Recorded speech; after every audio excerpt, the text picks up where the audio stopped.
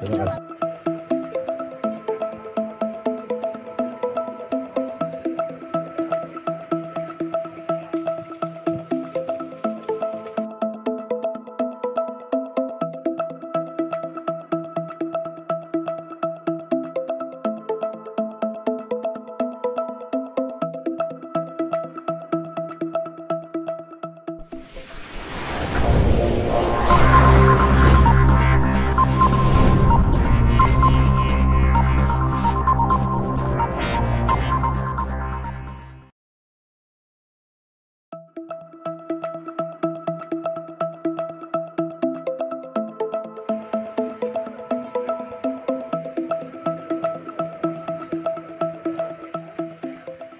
Seekor macan tutul yang diberikan nama Rasi, dilepas liarkan oleh Balai Taman Nasional Gunung Ciremai atau TNGC dan Balai Konservasi Sumber Daya Alam atau BKSDA Jawa Barat.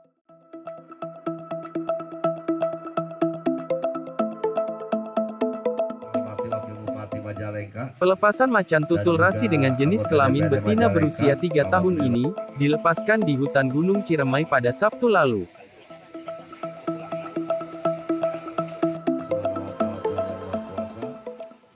Macan tutul rasi, sebelumnya pada tahun 2019 lalu ditemukan warga di Garut, Jawa Barat, yang diduga lepas dari induknya.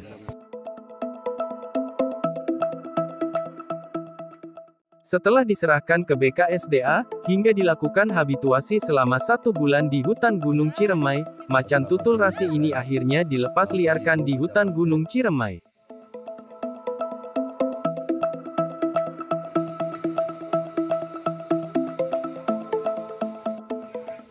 Pelepasan macan tutul betina rasi di hutan Gunung Ciremai ini dimaksudkan agar berjodoh dengan macan tutul jantan yang diberikan nama Selamat Ramadan, yang sudah dilepas liar di hutan tersebut pada 2019 lalu.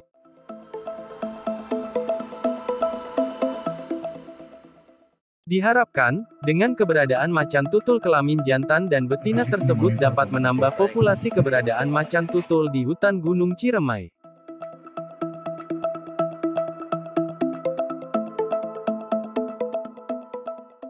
Menanggapi akan kekhawatiran terhadap para pendaki Gunung Ciremai, pihak TNGC meyakinkan masyarakat bahwa macan tutul tidak memiliki insting untuk menyerang manusia. Karena hal ini berbeda dengan hewan buas jenis harimau. Justru macan tutul akan menjauh jika mencium keberadaan manusia. Harapannya eh, dengan masuknya rasi ke dalam kawasan Taman Nasional Gunung Ciremai, kita berharap eh, dia bisa menambah eh, individu macan tutul di dalam kawasan. Karena macan tutul ini sebagai spesies kunci dari Taman Nasional Gunung Ciremai, hasil pemantauan kami sampai dengan 2021 itu baru ada satu individu macan tutul namanya Selamat Ramadan yang hasil pelepas liaran pada tahun 2019.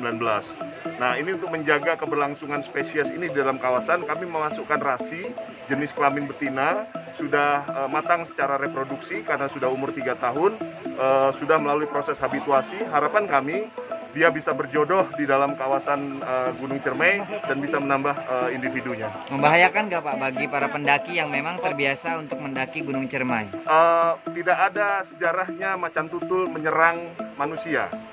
Justru dia eh, ketika mencium bau asing, terutama manusia, dia melarikan diri. Beberapa eh, seminggu yang lalu kami mengajak teman-teman media dari Ciremai eh, Kuningan untuk melihat eh, langsung ke kandang. Hanya empat orang waktu itu kalau tidak salah. Jarak 200 meter saja terpantau dari monitor dia sudah panik. Artinya itu menunjukkan eh, perilaku dia yang eh, panik mencium bau asing sehingga eh, kami jamin tidak akan eh, mengganggu jalannya pendakian.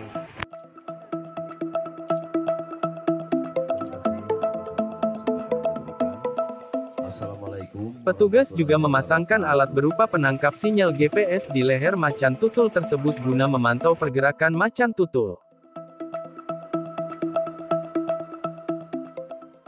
Hingga saat ini, dari data dan berdasarkan hasil pengamatan, keberadaan macan tutul di hutan Gunung Ciremai terdapat dua ekor macan tutul jenis kelamin jantan dan betina.